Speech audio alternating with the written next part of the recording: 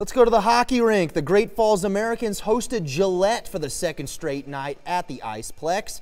With Great Falls winning on Friday night, what would happen tonight? Americans had a great chance early. Peyton McSherry right in front of the goal, but it's a great save from go goalie Cody Grogan there. Great Falls is turned away.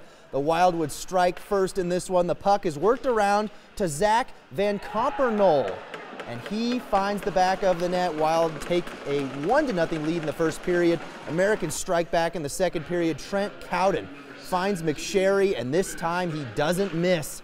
And it's time to showboat a little bit too, Peyton. Americans tie the game at one apiece.